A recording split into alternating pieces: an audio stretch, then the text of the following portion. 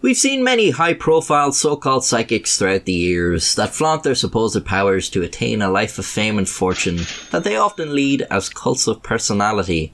And time and time again, they are exposed in brutal fashion. How convinced are you that you're going to win a million dollars? I'm convinced. I, I have great confidence in my abilities. Now. Oh, gee. It looks like you've got one right. Uh-huh. I'm so sorry. You do uh-huh. not get the million dollars. So this doesn't make you think twice as to whether or not you're psychic. No, I still believe I'm psychic. But there is one man who stands out, not only in his alleged supernatural feats, but in his deeds and lifestyle. His legacy so fantastic that even I, a non-believer, find interesting. He is one of the most well-regarded psychics of all time, the sleeping prophet Edgar Cayce. Now, before we get into this, I want to reiterate that I am a non-believer. I don't believe in psychic powers. I don't believe in ghosts or spirits or clairvoyance or any of that stuff. I believe there is a rational explanation for everything. Now, Edgar Cayce is the most documented psychic of all time. Unfortunately, most of what's written about him was written by people who already buy into all this stuff. I mean, do a search for him online and try to find a source that doesn't also mention the healing properties of crystals or star signs or some other such shit. What the fuck is this? Also, he lived 100 years ago, so his works and writings about him were not as subject to as much scrutiny as they would be today. So history has probably been kind to him. What I'm trying to say is, I take all of this with a grain of salt. His life story, as presented by these sources, is certainly favourable to Cayce, but I will deliver it as such, accepting this version of events as true, because it is a very interesting story.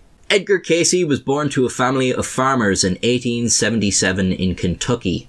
As a child, Cayce claimed to be able to see spirits, which in today's age would get him put on meds.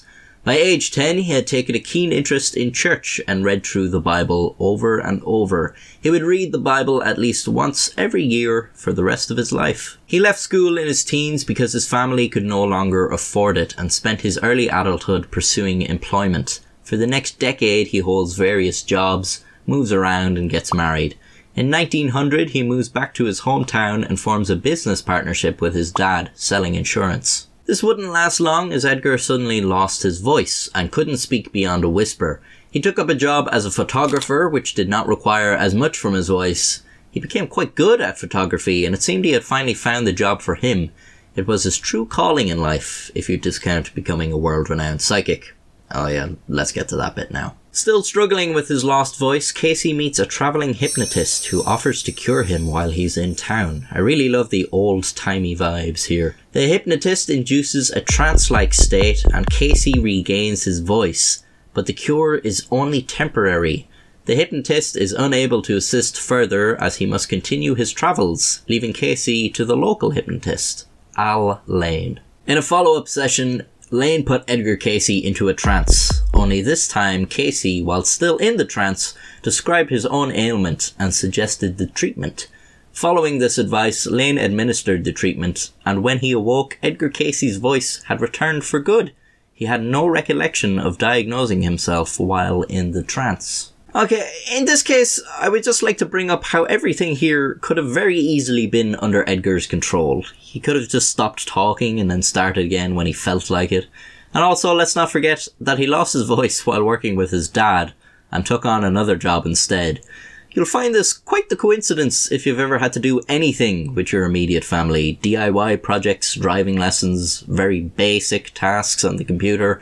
I don't think it's too extraordinary to suggest Cayce just faked losing his voice to get out of working with his dad. Hell, when I was still living at home, I lost my sight on five separate occasions. But Cayce would go on to perform feats that even I have a hard time rationalizing. Layne was stunned by what had happened and was keen to explore Cayce's apparent abilities.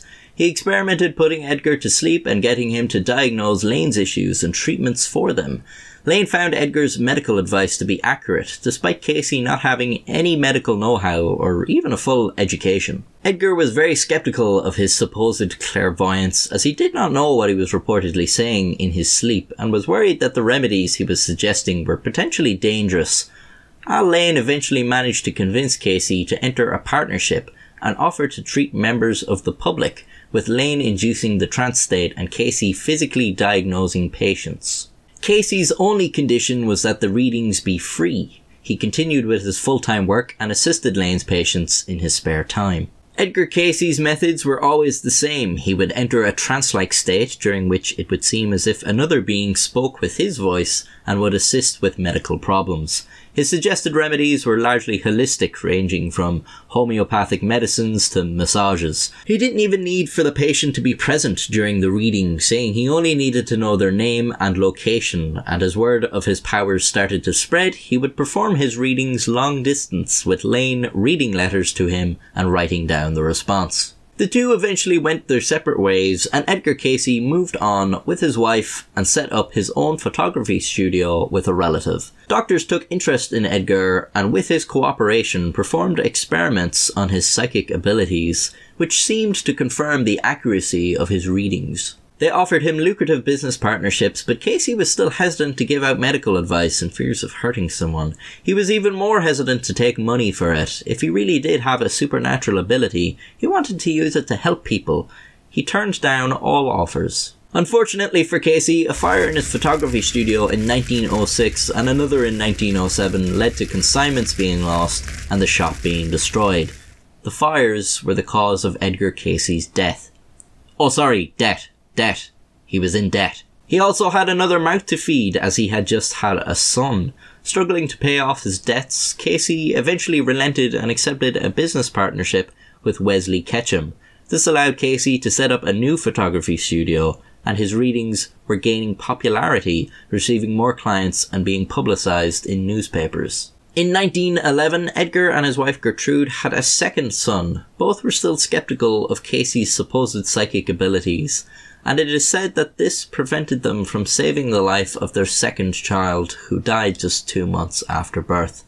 The same year, Gertrude developed chronic tuberculosis, and in desperation, Cayce made use of his ability to suggest a remedy, which apparently cured her. Shortly after, Edgar discovered that his new business partner, Ketchum, had sometimes been using the readings for gambling while Edgar was asleep. He promptly ended his involvement and moved to Alabama, while here, he once again took up photography. Jesus, he loved taking pictures. Here, Edgar had another son. He continued to do readings with his wife, and eventually his eldest son taking the place of the hypnotist. At this time, his finances were very poor, and although he was still giving the readings for free, he asked for voluntary donations. He even became more open to using his readings for commercial ventures, occasionally lending his ability to those who wanted to know the outcomes of horse races or the location of hidden treasures. Supposedly, the accuracy of these readings was poor and left Cayce unsatisfied. He vowed to stop using his powers for gain. In 1923, he met with two people who would have a lasting impact on his legacy. He took on a secretary, Gladys Davis, who would write down Cayce's readings and document them all. This is important because by this time, Cayce's readings were very popular, and he did a lot of them. Davis's records from this point on give us insight into Cayce's appointments and are the reason Cayce remains the most well documented psychic to this day, with Davis having recorded over 14,000 files over the span of Casey's career. The other influential person would appear seemingly as just another patient. One day, Arthur Lammers came for a reading, and while Cayce was in his trance state, Lammers began to ask philosophical questions about life and death. Arthur Lammers had an interest in metaphysics and asked Cayce about the topics of reincarnation and astrology. Cayce's responses validated Lammers' beliefs. Upon awakening, Cayce, a devout Christian, refused to believe he had endorsed these teachings which went against his faith but Gladys showed him her notes, which recorded his readings as such. Excited by these findings, Lammers worked with Cayce through numerous readings to develop these theories. Although conflicted, Cayce was eventually able to reconcile his Christianity with these metaphysical teachings. They developed an esoteric theory that there was one basic truth and that all the major religions shared this truth in one fashion or another. Their theory involved the ideas of reincarnation, past lives, and other beliefs which at the time were regarded as occult. They had the idea to open a hospital where Cayce could perform his healings and form an association. Cayce would incorporate his new teachings with his readings. Unfortunately, Lammers would run into financial troubles and wouldn't be able to go any further with Cayce. So he had all these ideas, but he couldn't put his money where his mouth is. He's like one of those guys that tell you they've got a real great idea for an artwork or an app that is guaranteed to go viral, but they can only pay you in exposure. Yeah, we sure this guy isn't still alive today? I think I know him. Edgar Cayce was undeterred by Lammers pulling out and was able to find funding from a stock exchange worker who shared Cayce's vision and so, the Cayce Hospital was built in Virginia, and the Association of National Investigations was formed to manage the scientific study of the readings. By now, Cayce was a professional psychic with a number of employees and volunteers working for him, including medical doctors. The hospital allowed for continued follow ups with patients so that they could record and research the accuracy and effectiveness of the readings and remedies, hoping to be able to compile a knowledge base that they could share with the world. The hospital was very popular and had a waiting list of months in advance. However, the Great Depression hit and funding to the hospital came to an end. The hospital closed in 1931. Despite this, many still followed Cayce and his spiritual teachings on karma, astrology, and reincarnation were becoming as popular as the readings. The Association for Research and Enlightenment was created for Cayce to continue his readings and host study groups. Allegedly, the association had around 500 members. By the 1940s, both Cayce's son had gone off to fight in World War II. Cayce drastically increased his number of readings per day as requests flooded in, with families wanting to know about their men in the war. This took a great toll on Cayce, and even his own readings warned that he was taking on too much. And sure enough, Edgar Cayce died in 1945 at the age of 67. The Association for Research and Enlightenment is still going strong today, and Cayce is still a very well regarded psychic. And this is just a brief summary of his life. There's a lot more, such as his prophecies, but there's only so many frames of this stuff that I can draw before I want to kill myself. If you're interested, I will leave you to your own research.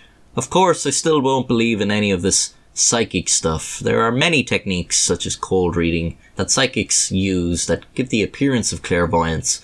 And while they certainly require a lot of skill, almost anyone can learn them. Hmm, that may be another video for another time. Even for a non-believer, it sure is an interesting story. it's very unique too. I've read the profiles of a lot of these guys who gain large followings preaching some sort of dubious esoteric teachings from L. Ron Hubbard to Wilhelm Reich, and I have to say, Edgar Cayce's life story is by far the least offensive. Where most others use their supposed powers to amass fortunes, act in an obscene manner, and found what are essentially cults, and I mean, hey, look, uh, I'd do the same. Why do you think I started this YouTube shit? Edgar Cayce lived a pretty modest lifestyle. Sometimes he was dirt poor and supposedly often turned down offers and partnerships which would have been very lucrative for him. Unlike many other supposed psychics, it's hard to make the claim that Cayce was maliciously misleading others for his own gain. Was he just deluded and thought pretending to be psychic was really helping people? Was he actually sleep talking and unconsciously speaking as if he held all the answers to life's questions? totally unintentionally. I know I sometimes talk in my sleep, but this seems like an, another level. Anyways, I'd like to know what you think, so let me hear you in the comments section. And one more thing, I've got this sick ass merch out now, so if you want to look like this, well, I'm sorry, we actually don't have the technology for that, but if you buy some of my merch, you can come pretty close. So do it. Do it.